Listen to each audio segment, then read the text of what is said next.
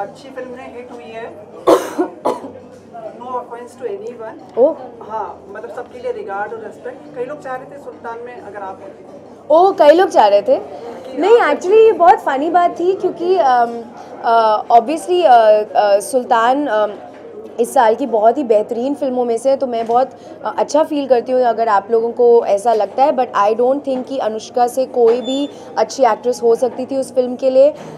In the future if ever मुझे सलमान खान के साथ काम करने का मौका मिले I would really really be very honoured to work with him so future के लिए yes but I think Sultan जैसी भी है वो परफेक्ट फ़िल्म है उसकी कास्टिंग परफेक्ट है and और कोई बेटर नहीं था उस फ़िल्म को प्ले करने के लिए. थैंक यू सो मच आपकी तबीयत खराब है आप जाने दे Thank you. अगली बार बिंदु के बारे में बात करेंगे। जी बिल्कुल? बिल्कुल. Thank you